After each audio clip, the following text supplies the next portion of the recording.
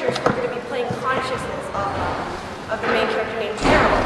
And they are two different genders, but I would remember that they play, one of them played the emotional side, and one of them is going to be playing the logic, logical side of his mind.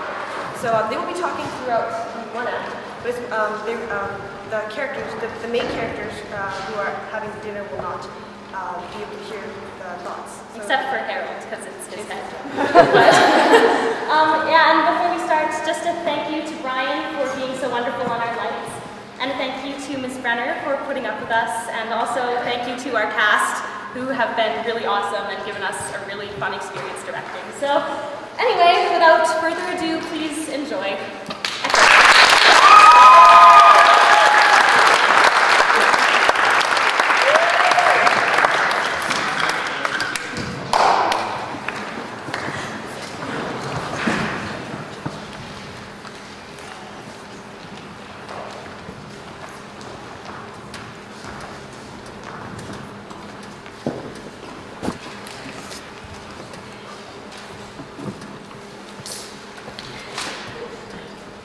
You're a fool if you go fussing with that.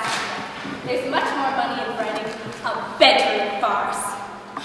Fool, you know your dreaming will never make it. You've got to look at the facts. You don't have to stare at yourself all the time as though you were looking for Jehovah. Yes. Well, I am looking at Jehovah and Satan. Well, maybe if you watched other things more, life wouldn't be such a dreary mess.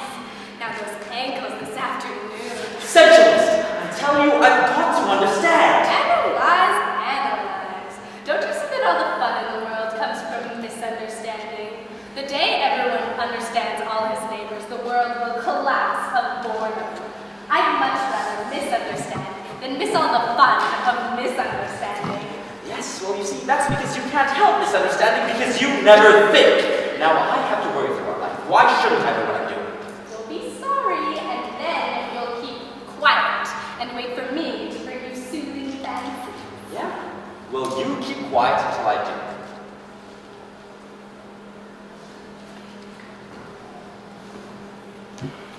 It's just five years today. It's odd how life sweeps you on and on. The little things seem big. They blot out your view as if your eyes have been pressed against them. Lift your head, it's five years. So it seems short. No, my six-year John made me a whole new being. If it hadn't been for my life with him, I'd never taken the steps that I did. So I owe to him the fact that you're with me today. I owe to him the fact that you made me draw my Stop right there. Don't ask that question. Fool. How can I keep from asking something once it's occurred to me? Tell her your plans for the future. Tell her where we'll both be by the end of the next five years. How do I know where we'll be at the next, at the end of the next five years? Keep quiet. Do you regret Regret what? what you did five years ago, coming with me?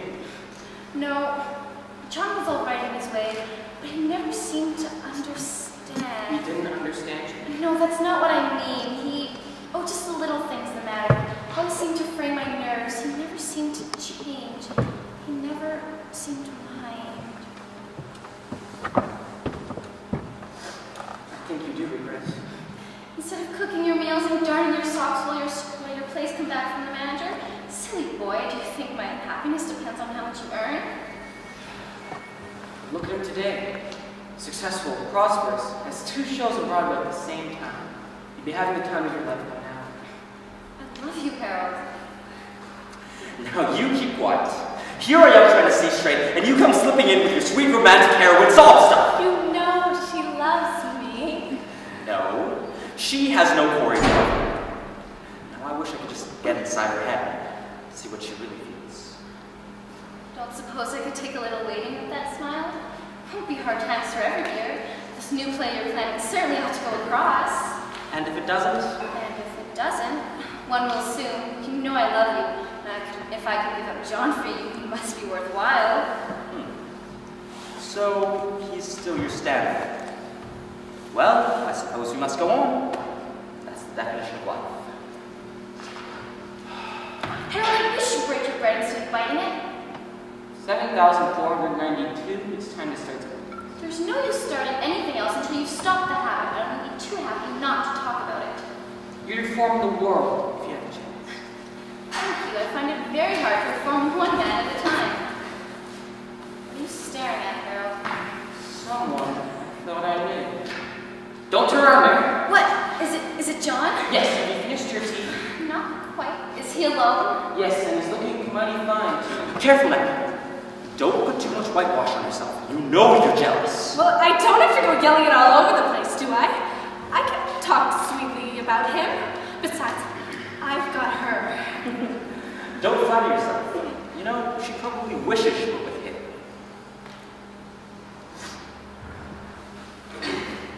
Hands his hat and came to the waiter. Funny. What? He has his hat. Just like mine. Well, what of it? You selected this hat for me. No, no, now I'm through, damn it. You're going to write about the limit. Why can't you think for a while about that peach at the third table? Shut up. Look at that flapper. She's dancing as though she had an auction on an angel in the garden. Yes, and she'll wake up and tell USA now let me alone. Look how pretty Mary is. She's rosy as the maid that milks the cows in the advertisements. Touch her foot under the table. Yes. I see how red she is. She's rosy because she thinks John's lying. Mary, how'd you come to like this kind of soft hat? How queerly you ask that. I don't know, I just like it, that's all. What kind of cigarettes does John smoke? Uh, I, I don't remember. I know, and I can tell you. He smokes St. Anthony's. Do you know how I know? That's the brand you've taught me to use. Well, what of it? I used to read the Tribune, now I read the World. I used to read Frankfurters and hamburgers, now I only eat steak and chicken. I used to go to a dance in a business suit, now I have a full dress and a tuxedo. Why? Why? Why? Because I like those things, and I like you to look so well. No, because he likes those things. You spent the past five years trying to shake me over to scratch my body and mind, so long as someone John John John! I mean, that's all stand for! You won't make me over aisle! What's all this heroics? Are you taking up my game? Be a man and stick to the woman you've chosen. It's nonsense, anyways, to say you're someone else. How can you ever be anyone but yourself? Yeah, that's right.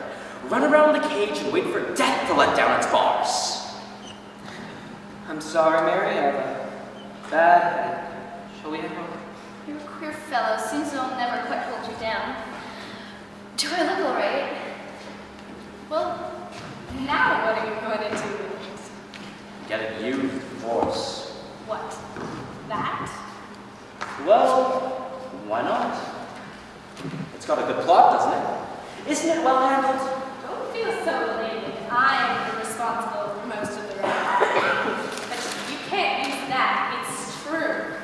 Yeah, well, what of it? Well, if it gets published, John will see it, you fool. And he'll know he's He'll despise. Romanticist. John's a decent chap. I mean, he released Mary from his grasp once he learned to be loved one another. Fine then, he'll understand. And pity you. Well, I give it up. Am I the mirror? Must I smash the mirror? John! Oh, Harold, you frightened me. Sorry, I heard you call your name. My name is sleep.